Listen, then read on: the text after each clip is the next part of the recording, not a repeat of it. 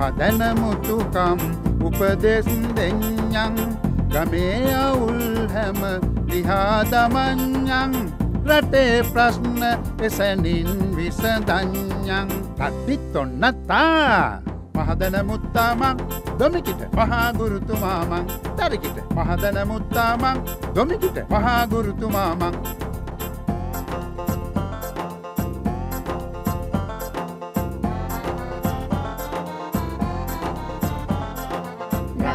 මහාගුරුතුමාමං රබ්බඩ අයියයි වඩිල්ලයි එනවා ගුරුතුමනි ටිකයියයි පිළිකටු පැන්ටයි එනවා. ඇයි ගුරුතුමනි පොල් බෑම වුණා? පොල් බෑමුණයි ඉන්නවා. ගෝලයෝ පිරිසයි. ඕන ප්‍රශ්නයක් විසඳඥන් මහදන මුත්තාමන්. ඕන ප්‍රශ්නයක් විසඳඥන් මහදන මුත්තාමන් ආයිබෝවම් මගේ දරුවනේ.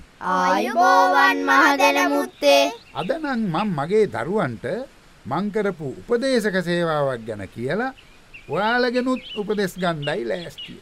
අපි ආසයි මහදැන මුත්තා පුංචි අපේ අදහස් වුනත් පිළිගන්න එකට. මගේ දරුවරත්තරන් අපි දියුණුවෙන්ට නම් හොඳට කන්දී අහන්ටෝන. ඔයාලගින් මමත් ඉගෙන ගන්නවනේ. ඉතින් දරුවනේ ඔන්න එක කාලෙක මගේ කුඹුරු අස්සද්දල ගොයන් කපල ගොයන් පාගන්ට සූදානන් කළා. එදා උදෙම්ම පටන් අරගෙනත් රෑ වෙනකං ගොයම් පාගලා ඉවර කරගන්න බැරිවුණ. ඒ තරමට අස්වනු පිරිලා. කෝලයින්ටයි මටයි හාරිම සතුටුයි.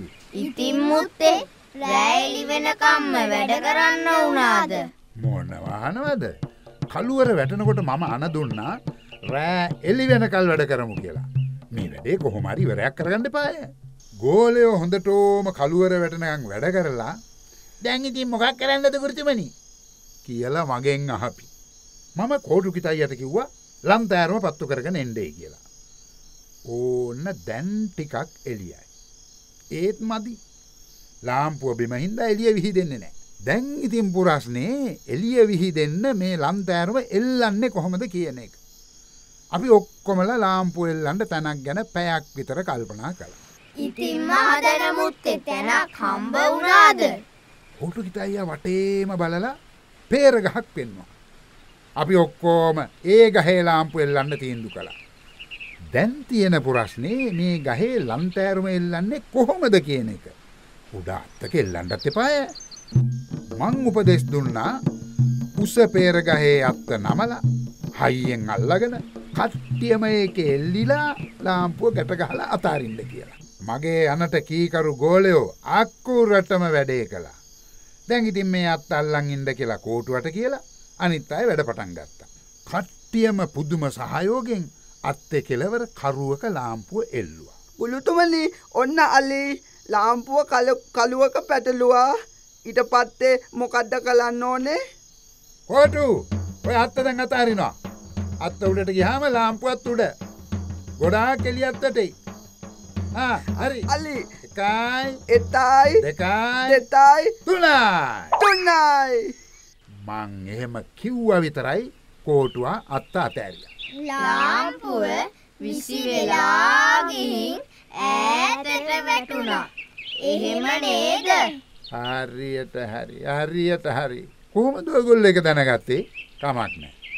ඔන්න දැන් කමත ආයිත් අන්දකාරයි. ලාම්පුුව කොහේ විසිවුණාද කියලා කියන්න බෑ. මගේ ගෝලයෝ ගොයම් පෑගිල්ල නවත්තල දැන් ලාම්පුුව හොයනවා. පලාතම තිත්ත කළුවරයි. මේ ලාම්පුුව නෑනේ මේ ලාම්පුුවකෝ ඕමේ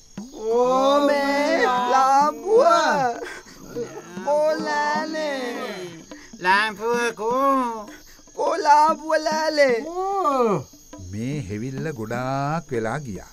ඒත් ලාම්පුුව නෑ. මං ගෝලයින්ට ලාම්පු හොයාගන්න හැටි ගැන තව උපදේශයක් දුන්න. ගෝලයිනේ මේ මගේ ගිරේ ඉස්සෙල්ල ලාම්පුව බැඳු පත්තෙම බැඳලා අත් අතාරනවාලා. එතකොට ගිරේ ගිහින් ලාම්පය වදී. තාංගාන සද්දෙන් අපිට ලාම්පු හොයාගන්න පුළුවන්. ගෝලයෝ තාර්රිම්ම සතුටින් මං කියපු විදිහටම කළා. ගිරෙත් ලාම්පුව වගේම වීසි වෙලා ගියා. හැබැයි ලාම්පය වෙදිලා ටාංගාන සද්‍යයක් නං ආවේ නෑ. දැන් ඉතින් මොනවා කරන්නද මේ කළුවරේ. ගොයම් පෑගිල්ල නතර කරලා යමු කියලා මං උපදෙස් දුන්නා. දරුවනේ මට අදත් තියෙන ප්‍රශ්නය තමයි ගිරේ ලාම්පිය වැදුනේ නැත්තේ මොකද කියන එක. අයියෝ මහදන මුත්තේ පහලට ඇදලා අල්ලපු අත්ත දෙපාරට වේග දෙකකින් විසිවෙන්ට ඇති. ලාම්පුව එක වේගෙකින් ගිරය තව වේගෙකින්. ඒ කිව්වේ ලාම්පුව එක තැනක ගිරේ තව තැනක. දෙන්න දෙපොලේ. අන්න හරි. අත්ත හිර කරගෙන ඉඳලා අතාරිනකොට වේග දෙකකින් ගිරේ ලාම්පුවයි විසි වුණා. තැන් දෙකකට වැටුණා. ආ එතකොට ගිරේ වැටෙන තැන නෙමෙයි ලාම්පුව වැටෙන්නේ. ලාම්පුව වැටෙන තැන නෙමෙයි ගිරේ වැටෙන්නේ. අත්ත විසි උනේ වේග දෙකකින්. හරියට හරි. ඔය හොඳට තේරුම් ගත්තේ. ලාම්පුව එල්ලපු විදියත් වැරදි. තේරුණා නේද? ආහා. මේ ගෝලයිනේ. අහුණද? ඕ මේ ගෝල බාලයෝ ලියා ගන්නවල මේ දරුවෝ දීපු දැනුම.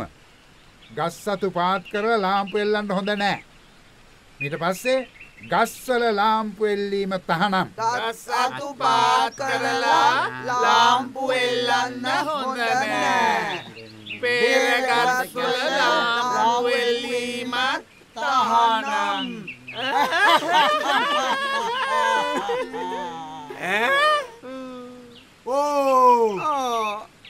හරි දේ කියලා දුන්නට මගේ දරුවන්ට බොහෝම ස්තුතියි දරුවනේ.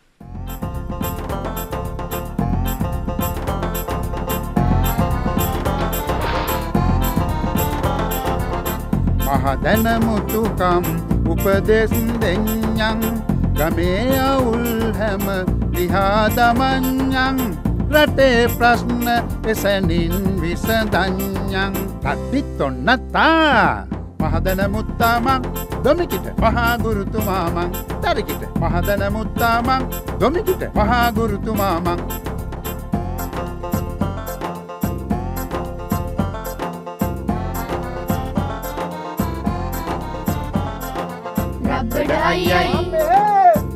උවක් වඩිල්ලයි එනවා ගුරුතුමනි කෝටු ටිකයියයි ඉනිකටු පැන්ටයි. ඇයි ගුරුතුමනි පොල් බෑම වුණා? පොල් බෑමුණයි ඉන්නවා. ගෝලයෝ පිරිසයි.